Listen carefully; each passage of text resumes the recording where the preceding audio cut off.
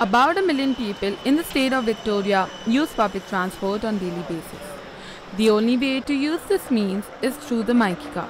As of this Thursday, 20th of March 2019, the Victorian government, partnering with Android, has launched mobile Myki. convenient because like now these days people aren't using wallets. It's more so their phones. Like with Apple Pay and stuff, like you know, people would rather go to Apple Pay because they always have their phone. And you know, if more people are going to be doing this, like you know, it's just going to help out and be more convenient. An app which enables all the Android users to access the public transport directly through their mobile phones.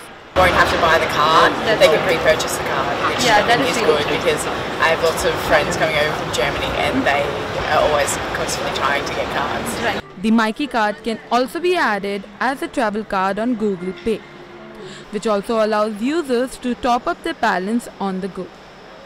Additionally, it will also reveal balance and travel history in real time.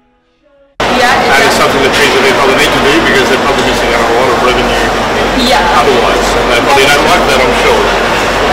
Before launching the app, the government brought in 4,000 users for a trial run, which resulted in 80% of the users having a positive response for mobile Myki. The government is already in talks with Apple and they'll be launching an app for all the iOS users quite soon.